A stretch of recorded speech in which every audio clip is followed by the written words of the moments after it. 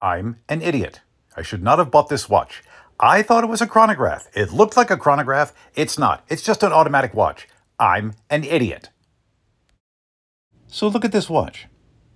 Pushers, subdials. It screams chronograph. It's got some really nice finishing. The crown and the pushers are like mirrors.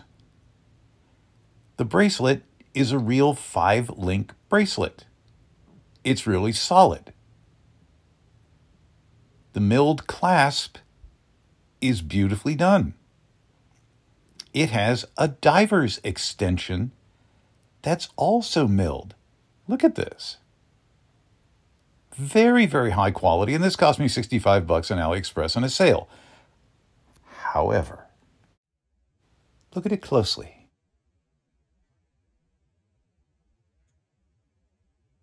There are two seconds hands, and they're moving at exactly the same time.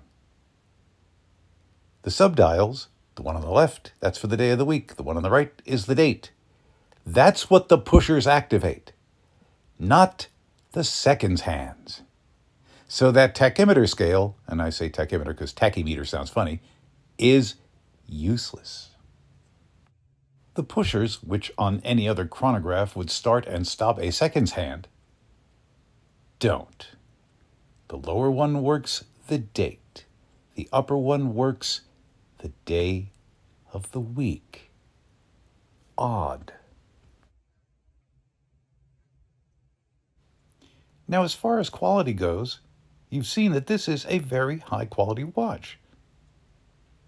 Nice brushing on the sides. And I think that the bracelet and the case are 904 stainless. Now, for $65, it's great, but it's not a chronograph. Everything about it screams chronograph, but it isn't.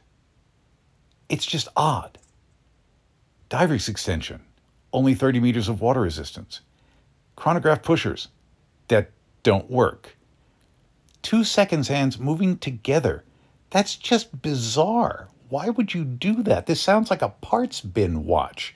Someone walked by and went, oh, let's put that in, let's put that in, let's put that in, let's put that in, let's put that in. And they wound up with this Frankenstein watch. Now, if you want a nice, solid, well built automatic watch for $65, $70, this is it. Go to AliExpress and get one. But don't be suckered in. Don't think it's a chronograph, even though everything about it screams chronograph. Now, if I had done my research properly, if I had watched the reviews carefully, if I had actually read what the watch was about, I probably wouldn't have bought it. I'm not that much of a Tintin fan. That's what the red and white checkerboard thing is. So I was an idiot, so you don't have to be.